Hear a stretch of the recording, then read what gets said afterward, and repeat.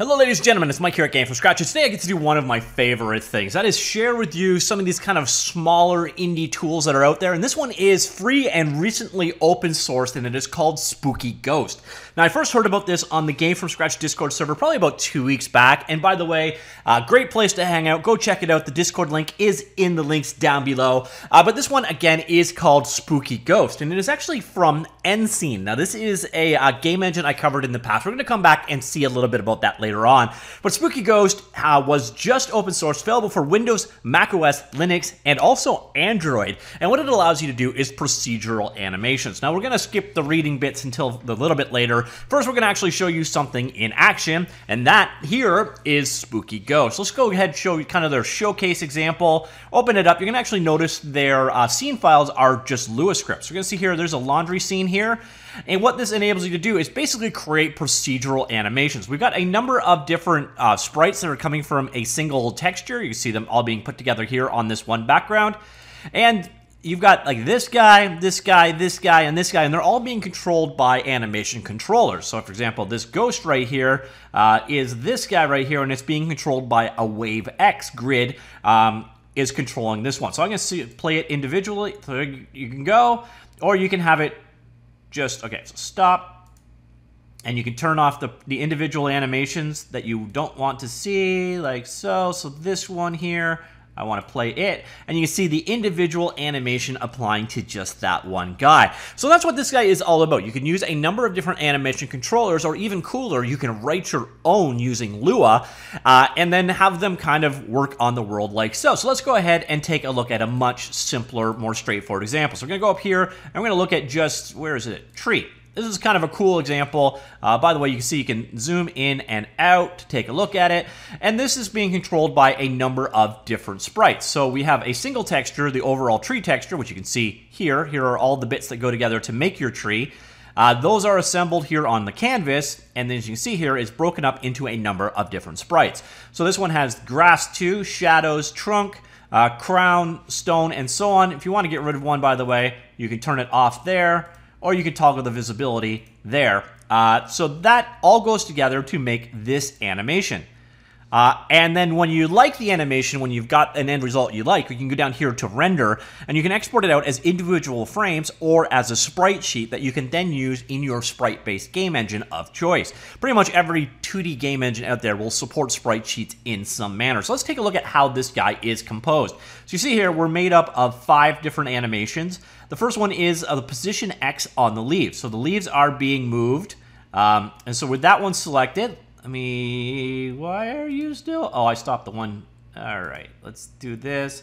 We'll stop the entire tree of animations instead of just one. So first here you see we've got the uh, position X property for sprite leaves. So see over here, sprite leaves. Here are the details of sprite leaves, which by the way, you could scale them, rotate them, and whatever here. So if you want to edit things, you can do so in this uh, sprites properties, or we can go over here to animation, and this is where the magic's happening. So what you're seeing here is we're providing, we're doing a position X property uh, over time, so start to finish, 0 to 1, and then over that time we are changing the values. So you can see the values of those leaves being changed over time. So what we're doing is basically moving them along the x-axis over time by this amount.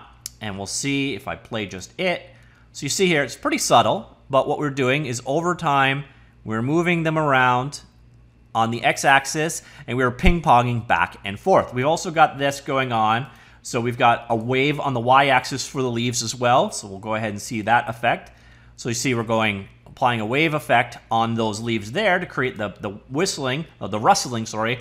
And then we're doing the same thing for XY on the various different other atmos uh, other areas on it. So let's say we want to do something else. We want to say apply something to the, the trunk here. So I'm going to go ahead, I'm going to select the trunk right there. So trunk is now selected. I'm going to add a new animation. So that is an animation of type script. Uh, I did that wrong, did not mean to do that. So if I want to do that, what I need to do is first select a script. Now script is actually kind of cool. What I said earlier on is you can actually have uh, Lua scripts, custom scripts to extend things yourself. So there's a number built in right here. So let's go ahead and uh, we'll do a wave along the y-axis script. All right, so we're going to apply that script. So with that script loaded, now we go back to our sprite. Trunk is loaded, and we're going to pick type of script. So you can see here also do a property. That's how you would animate a single direction or whatever. I'm to stick with script here, and we're going to add that in. So script for type uh, sprite trunk is now in there. And you can see up here under animation, we've got control. So it's using the wavy Y script, and we can pass in a value to that script over time. So as we scrub across time, we can change it up there. We can also say how to loop it. So this is going to affect our trunk alone. So let's go ahead and play that. So now you see we've got a wavy trunk. Now it only did a single loop there. So if you want to have a dancing trunk, you can do so. Let's put a loop mode in there and we'll do a rewind on that. Okay, so here we go. Now we have a dancing trunk added to our tree. So you can see how these things work together. Now, if you'd rather have done it instead of using a custom Lua script, actually, you know what? While we're on that subject, I'm going to show you the Lua scripts. So you head on over here into your install directory, like so. Uh, you're going to find there is a data folder. In the data folder, there is a scripts folder, and we have all kinds of simple Lua scripts here. So if you want to extend how the procedural animations work yourself, you want to start writing your own using the Lua programming language, you can do so. So here are a couple of examples. This is a simple um, circle script.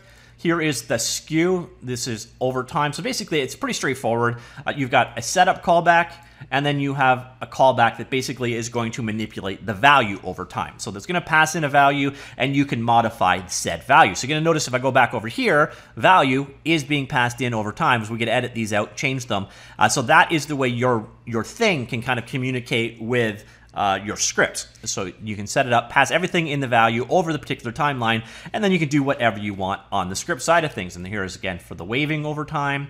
Uh, and circle. So if you want to create your own scripts, really simple. Basically, setup function for setting up your initial variables, and then an update function, which is called every frame of the animation, and it's where you perform your logic on it. So if you want to extend this guy, you can quite easily do so.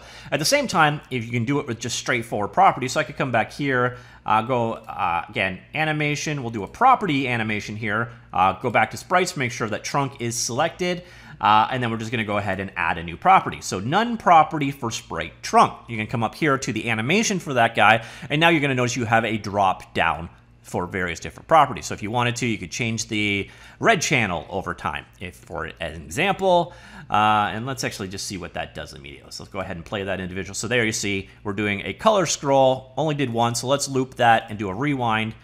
And now what you're going to see is basically now we have a pulsing red uh, channel going on there. So with this guy, you could do a number of different uh, procedural animations to compound sprites that you basically build yourself out of a bunch of rectangular areas of sprites, draw them on your canvas, apply properties, animations, uh, and you can even do grid-based um, uh, warping or, or, effects on things. And then when you are done and your end result is good, you can save the results out either as uh, frames, uh, individual images for each frame of animation, or as a sprite sheet. Now do keep in mind, I am playing an individual frame right here, so let's go ahead and stop that. We'll pick the entire thing, and let's play the entire animation. So there you can see uh, the end result that you would you would get from what we did, so all we really did is took their default animation, added this red pulsing and our dancing tree roots in there. As I showed you, you can also extend these things out using Lua, so the sky is the limit in terms of what kind of animations you can provide.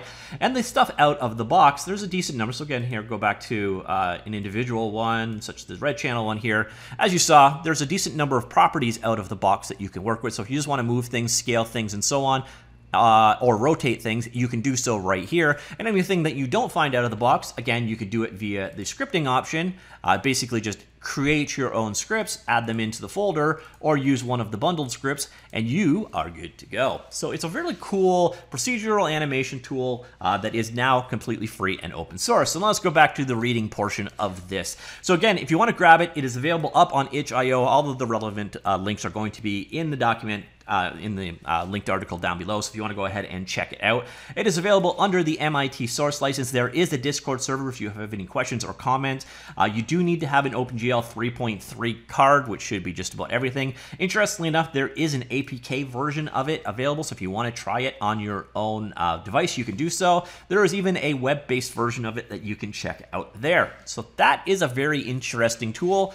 Uh, as I mentioned earlier on, it is now available open source up on GitHub uh, which again, I, I, will have the relevant link down below. And this logo may look familiar if you're a regular to this channel, because on this channel, I cover all aspects of game development, and that is the logo for nCine, a cross-platform open source 2D C++ game engine. Uh, so this is ultimately using nCine. It's been in development since 2011. If you want to learn more about the nCine game engine, well, I've got you covered, of course, because I have done a hands-on video with this one. As I mentioned earlier on, C++ open source MIT licensed 2D game engine.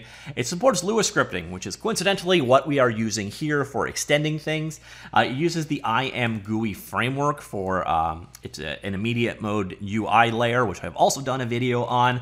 Uh, it seems of features of functionality, almost everything you would expect from a 2D game engine. So if you're looking for a C++ based 2D game engine, well, that is what this tool is being built upon, and I do have a video on that. I was having a very green day, apparently, the day I did that one. So that is that. But today, the star of the show is Spooky Ghost, a procedural 2D animation tool that just about a week and a half ago was open sourced. And if you want to get that kind of information, sometimes it's on the Game From Scratch Discord before it is on Game From Scratch, the channel. So do be sure to subscribe to the Discord server. Let me know what you think of Spooky Ghost, of uh, the nCine game engine. Do you see a use for this tool? It's kind of cool. You can run it in the browser or on a mobile phone. Um, and it's also really cool anytime you have a new 2D open source tool, MIT licensed, always awesome. So let me know what you think of this one, comments down below, and I will talk to you later. Goodbye.